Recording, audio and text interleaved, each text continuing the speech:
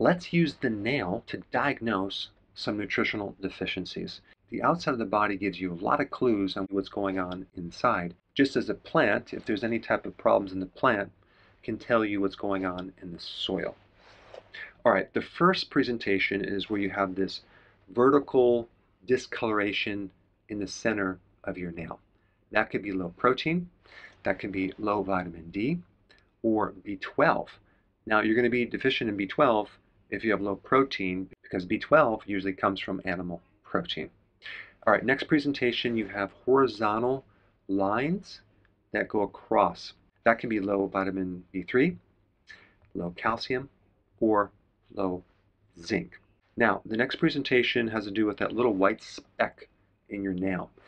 That is a zinc deficiency mostly caused because the person is on a high carb diet. And because it takes six months for the nail to grow, you can sort of identify a time when you had a lot of carbohydrate because if it's right in the center, it could have been three months ago.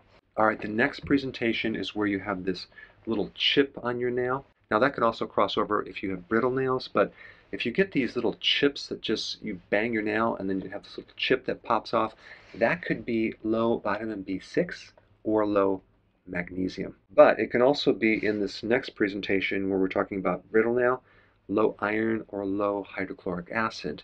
Now, if you're low in hydrochloric acid, you're not going to be able to absorb magnesium or iron too well. So you just might need to add more acid to be able to absorb these minerals.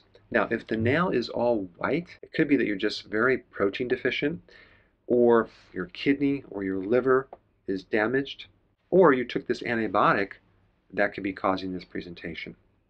If the nail is really, really soft, okay, it's not very strong, that can be low calcium. Calcium gives the strength of the nail, makes it very rigid, and you may need vitamin D to help you absorb that calcium because vitamin D helps the absorption of calcium by 20 times.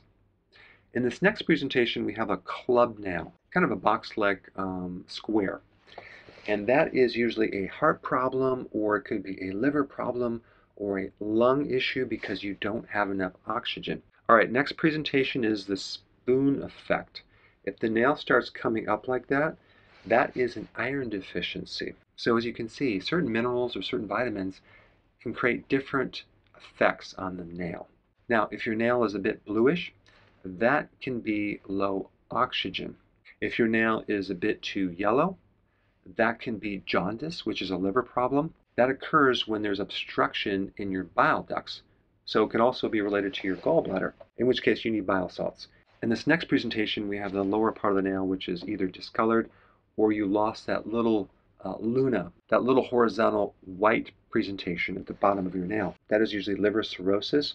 It could be a heart problem or diabetes. Now, if your nail is becoming distorted or it's excessively thick or you have these horizontal ridges in the center part, that is usually low biotin, which is a B vitamin. In this next presentation, you have these vertical red lines. These are broken capillaries. This is low vitamin C. If you have this condition, you may also have bleeding gums. You can have little spider veins uh, in various parts of your body. In this last presentation, we have these vertical ridges. This could be quite a few things. It could be low protein, a high carb diet, it could be low B12 or low iron because you're not getting enough protein because most B12 and iron comes from animal protein. All right, thanks for watching and I will see you in the next video.